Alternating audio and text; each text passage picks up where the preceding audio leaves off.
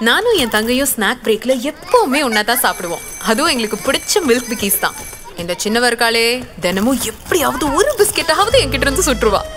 இப்ப கூட நான் கிண்டல் பண்ணுவேன். திவ்யா அந்த ஒரு எக்ஸ்ட்ரா பிஸ்கெட்டால தான் நீ என்னை விட ஹைட்டா இருக்கேன்னு. இந்த மாதிரி மில்க் பிக்கிஸ் கதை நம்ம எல்லார்கிட்டயும் இருக்குங்க. என் மில்க் பிக்கிஸ் என் அனுபவங்கள் கான்டெஸ்ட் உங்க அனுபவங்களை எங்க கூட ஷேர் பண்ணி உங்க போட்டோவை பிரிட்டானியா மில்க் பிக்கிஸ் பேக்கில் இடம்பெறும் வாய்ப்பை பெறுங்க.